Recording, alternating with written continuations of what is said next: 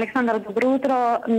Токму така, откажани се двете средби на шефот на државата Ѓорги Иванов со бугарскиот премиер Бојко Борисов и со министерката за надворешни работи на Република Бугарија Екатерина Захариева. Ова го потврди и од кабинетот на председателот Иванов, меѓутоа причините за сега не се познати. Она што можам да го истакнам се базира практично се базира на она што го пишуваат бугарските медиуми, а тоа е дека се работи дека средбите се откажани поради непристојното однесување на шефот на државата Георги Иванов при посетата во неговиот кабинет од страна на министерот за надворешни работи Никола Димитров и премиерот Зоран Заев. Инаку, како што напомена и ти Александар, денеска практично во 11 часот по локално време стартуваше официјалната посета на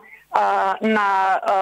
на шефот на државата Ѓорги кој што беше пречекан со највисоки државни и воени почести, пристигна на плоштадот Александар Невски, пошто бе интерпретирани македонската и бугарската химна и беше положено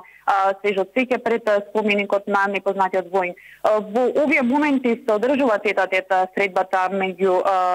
Иванов и Радев, пошто за околу половина час и ќе следува заедничка пресконференција на која што 20 председатели ќе изнесат детали од нивниот разговор, па претпоставувам тука и ќе бидат и поставени некои новинарски прашања пошто би можеле да дознаеме да дознаеме точната причина зошто се откажани а, двете средби на Иванов со Захариева и со а, Борисов. А, по средбата Иванов заминува и на официјален ручек кој ќе го приреди председателката на Народното собрание на Република Бугарија Цвета Карајанчева. Она е тоа што можам за сега да го изнесам, како што реков, за половина час однесу се очекува заедничката пресконференција на која што ќе бидат изнесени сите детали околу разговорот меѓу двајцата председатели, а во и можеле да дознаеме причината зошто двете средби се откажани. За повеќе детали гледајте ги